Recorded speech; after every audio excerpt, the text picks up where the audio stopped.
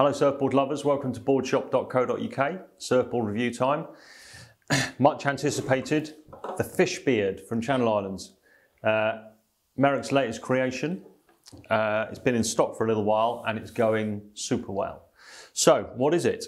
It's based on the neckbeard, um, which has been a perennial favourite, but quite specific in what it's designed to do. You'll have seen various videos of people boosting big airs and what have you. And one of the CI riders, Connor, said to uh, Merrick, let's get this into a twin fin, let's give it a swallowtail, and we're going to have a board that's going to be a performance type fish. So they set about uh, redesigning the neck beard, and the fish beard is a result.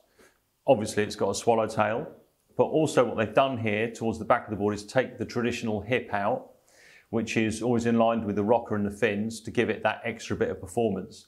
So you've got a longer rail line through the tail for more hold and for more drive when you're surfing off the back foot. But the traditional swallowtail to carry the volume through, but take uh, carry the length through, but carry a little, take a little bit of volume out.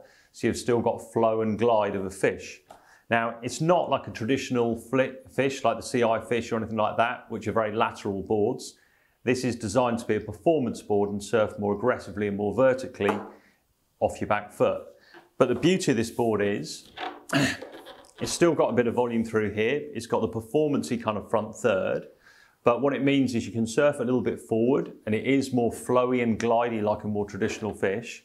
But as soon as you get your foot over the fins and start pushing it, then it is a vertical surfing board. You can push it really hard into uh, aggressive turns. And especially when the surf's a bit better, um, or a good set comes through or what have you, or, or, it improves when you're out, you've got a board that gives you the flow and the glide for poorer conditions, but has got that performance potential as well. Um, it's in the Spine-Tek as well as the standard PU uh, in stock right now. Um, but the PU I think is going to be the more favoured model for the um, for the kind of approach that people are going to take to this board. It's going to go in waist high plus to overhead size waves. Uh, ability wise to surf it, low level intermediates, We'll probably surf it a little bit more forward and more traditionally in that glow and um, kind of flow. Glow? Do I mean flow? I've just invented a new word, glide and flow, glow. Um, but it has got all that performance potential. That's really what this board is about. Think about uh, comparisons like the uh, Christian Pegaso type performance fish. It's along those lines. But the clever thing is, is that is extending that rail line into the tail to give you that drive off the back foot. Now, it means the board bites nicely, it doesn't slide out even if you push it really hard. and with that twin fin setup, obviously gives you the speed out of your turns. Now, this fascination with twin fins is what drove the uh, design of this board, and more and more people are getting into twins because of the speed and the loose feeling that you get with them. I think for most people who want to add a fun board to their quiver or have one board for a, a range of conditions, not a groveler type board at all though. Um, it's going to be a really good fun addition because it gives you that option of flow and the glide, but also performance off your back foot. in the PU, uh, it's obviously a lively feeling board.